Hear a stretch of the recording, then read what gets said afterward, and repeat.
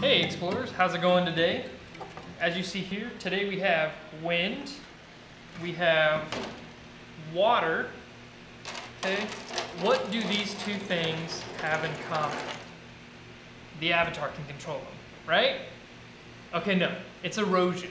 Both of these are examples of erosion. But what is erosion? If you stick with me today, that's what we're going to be exploring. So, for our lesson, you are going to need different types of earth materials. So some kind of rocks. We have sand and dirt. So we have these three different types of materials so that we can compare the different earth and how it is impacted by erosion. You're going to need something like a baking tray to put these earth materials in and actually experiment in. We're going to need water in a pitcher. You're going to need some kind of soft rock, like limestone or sandstone. And then we're going to need three plastic bottles to put the rocks in, okay? So, with that being said, go ahead and gather your materials and then tune back in as soon as you get them. Alright, so earlier we saw two types of erosion, wind and water. Or did we see three? Okay, animals. Animals actually can cause erosion as well. And so we're going to take a better look at these different types of erosion and how they actually impact the environment that we see them in. Okay, so for this, we're just going to imagine a couple of scenarios. Okay, so everybody close your eyes. So for our first scenario, we're on a beach. The wind's blowing through your hair. You have the gentle crash of the beach again, or the waves against the beach, and you build a sandcastle. And you turn around to go grab lunch. Tide comes in, and then when you're back, your sandcastle's gone. What happened to your sandcastle? Well, the water came in and it washed the sandcastle away. So that's a that's an example of water erosion. Okay, so things like beaches, rivers, and lakes, as that water is moved around by either the wind or uh, the, the tide changes, or even depending on the amount of rain, the earth around that can change. So sand gets washed away pretty easily. Okay, so our next scenario. Now you're in the desert. It's nice, it's hot. You kind of feel like the, the wind is so hot that it's almost like you just opened up the oven to get the pizza rolls out of the, the oven. Okay, and then you feel this sand hitting against your face. Where's this sand coming from? Well, you're not near a beach, so what's hitting you in the face? It's still sand, right? But what's picking it up? The wind. So in a desert, you have all these fine particles of sand because there's not a whole lot of trees or a lot of landscape to break up how much wind there is. So that wind is uh, running across the desert, hitting all those rocks, breaking them into smaller pieces, and picking them up, and that sand's getting blown around. Okay, so we see a lot of wind erosion in places like the desert. Now, our last scenario. We're hanging out in a forest, you're just taking a nice little walk, and you notice off to your right through these trees that there's this winding path that cuts through the trees.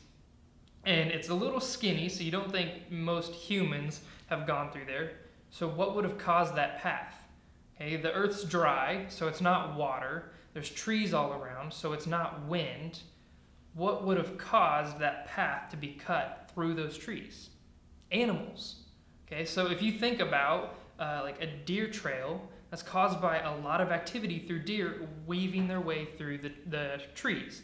And they just kind of naturally wear away that earth that's sitting there. Okay, so we saw three different types of erosion.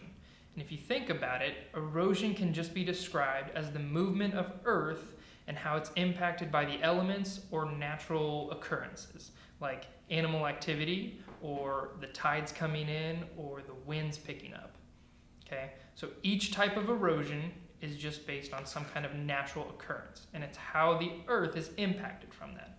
So that's what we're going to experiment today with. So I got a pan or a tray here, and we're going to take our earth materials, and we're going to mentally just divide our pan in three. So I'm going to start with my dirt, and I'm just going to pour it in one third of my tray. Okay, and now I need my sand. I'm going to pour it in the next third.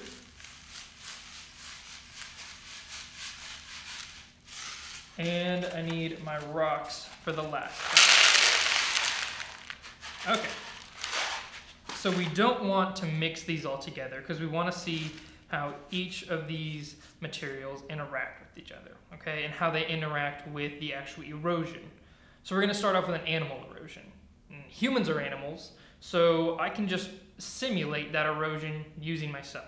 We're going to imagine it's just an animal walking over the, the type of earth.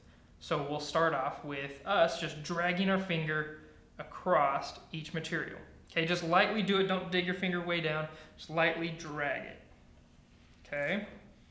So when you look at each, did you change how each of them are structured? Like, did you cause a groove? Okay, now what if we repeated this multiple times? Is it going to get deeper or is it going to get more pronounced? Are we going to start moving more around? Is one of these easier to move than the other? Okay, so you can see how each material would respond differently to the different types of animal erosion. Okay, what about wind erosion? So for the wind erosion, I'm just going to blow across each of these, okay? So Okay, was there one of these that was really impacted by the wind erosion? Okay, this one, maybe not so much. This one, not a whole lot of activity at all. Okay, so the response from the wind erosion is different in each of these. So for our final one, we have water. Okay, so I'm just going to gently pour this across. We're going to simulate like a light rain. Okay, so I'm just going to gently pour this across each material.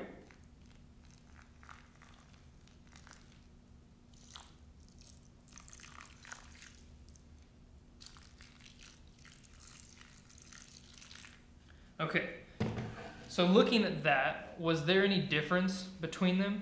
Okay, the, the dirt here didn't seem like it was affected much. It just kind of absorbed all that water. Maybe a little bit got pushed aside. The sand really changed quite a bit. So if you think about building at a sandcastle at the beach, dry sand's not going to do a whole lot, and then wet sand really sticks together. Okay, so this wet sand changed quite a bit whenever we poured the water on it. And then the rocks, now they just look wet, so not a whole lot there. We're gonna up the amount of rain to try to see how more uh, water erosion is going to change. So we're gonna pour quite a bit in here.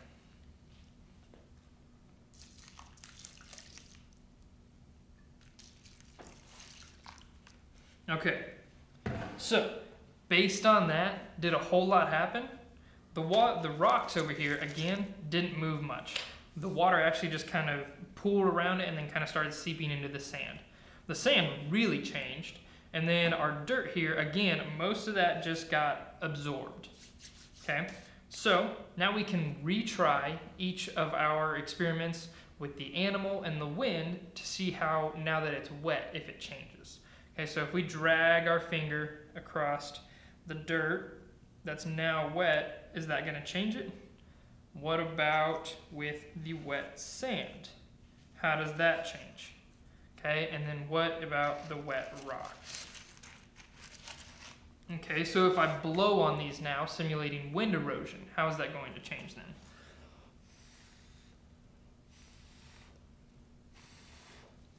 Okay, so the, the dirt, since it absorbed a lot of that water, is still kind of dry on top. So it moved quite a bit. The sand didn't move much anymore, and the rocks still didn't move. Okay, so just based on how the environment is affecting uh, or being affected by the elements, we can actually see how erosion changes. Okay, and this is just like a quick scale on each of the different types of erosion. So what we're going to do now is we're going to go ahead and clean up our mess here, and then we're going to move on to look at how, uh, how time and activity in erosion actually affect each other. Okay, so go ahead and clean up this and then tune back in. All right, so we're back with a clean work surface and our three plastic bottles that we place our soft rocks in. So these soft rocks, remember, these are kind of things like limestone and sandstone. Lucky for us, Kansas has a lot of both. Okay, so we are going to take about half of the bottle and fill it with water as well as our rocks. So I didn't put water in this last one, so I'm gonna go ahead and match that with the last two.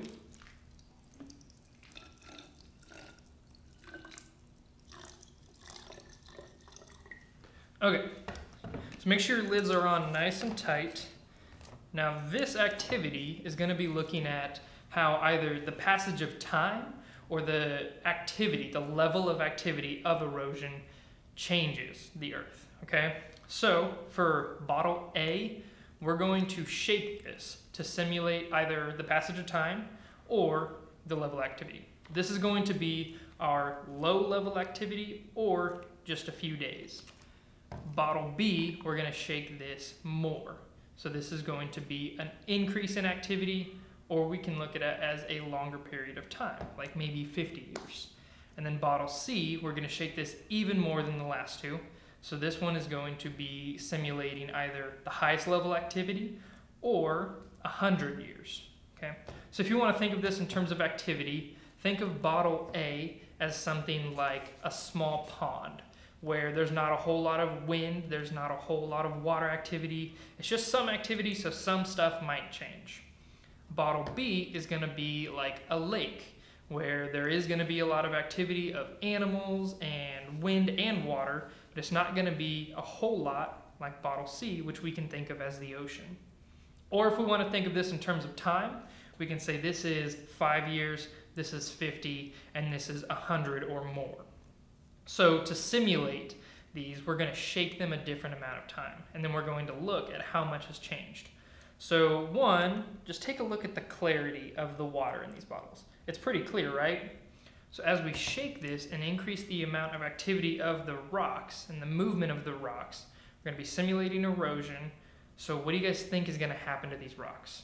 Are they going to start breaking apart? Or are they going to stay the same? So for bottle A, we're going to shake it five times. Bottle B is going to be shaken 25 times. And bottle C is going to be shaken 50 times. And then we're going to do each three times. So for a total of 15, 75, and 150 shakes in each of these bottles. Okay, so I'm going to go ahead and start with bottle A and just shake this five times. Okay, so if we look at the bottom, did it change much? Is there a whole lot of sand? No. Is it a little bit more cloudy? A little bit, yeah. Now we're going to shake bottle B and C. I'm going to shake both of these at the same time, 25 times, and then I'm going to continue this with 25 more times, okay?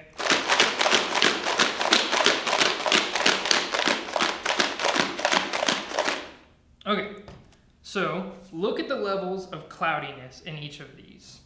Bottle A, pretty clear. Bottle B, a little more murky, and bottle C is a lot dirtier. So as we're looking at the bottoms, there's a little bit more sand accumulated or broken pieces that are smaller in bottle C. Okay, and again, we're gonna repeat this two more times. So this bottle shaken 15 times, this is shaken 75, and this is shaken 150. Okay, I'm gonna go ahead and do that right now.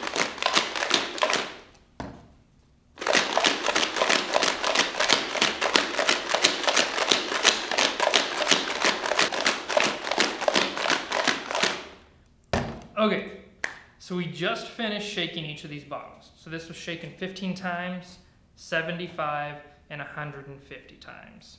So as we look at these from down below, I can maybe put my hand behind them to get a better shot of the color. Okay, so as we look at this one, it's still pretty clear. It's a little bit more cloudy than when we started. This one is a lot more cloudy than from when we started. And if we compare these two, it's kind of hard to tell the difference, but just looking at how much of the rocks we can see, in bottle C, the one with a lot of activity, there is a whole lot of murkiness going on. So if we take a look at the bottom of this, there's quite a bit of sand or like small rocks that started to get displaced and broken up. Bottle B, we don't have nearly as much. And then bottle A is still pretty clear. Okay, so again, this could simulate either the passage of time or the level of activity. So as time went on, or as the activity in that area increased, okay, so we have less time, more time, less activity, more activity, we saw more erosion. And that's one of the key things about erosion. It's not a quick process. So you might see small changes day to day, But if we think about the grand scale of things, over 50 years, or 150 years, or 500 years, or 1,000 years, we keep going on, and the impact of erosion gets greater and greater, where entire coastlines might change, or the entire the type of earth that we find there might change. One day we might find that it's full of large rocks, then we come back 500 years later and it's a sandy area. Okay? So we can see that erosion changes the earth in slow ways and it's due to natural processes. And it can either happen over long periods of time or with lots of activity. All right. Thank you guys so much for exploring with me today, learning a little bit about erosion. Tune back in again to have another lesson from Exploration Place. Thanks.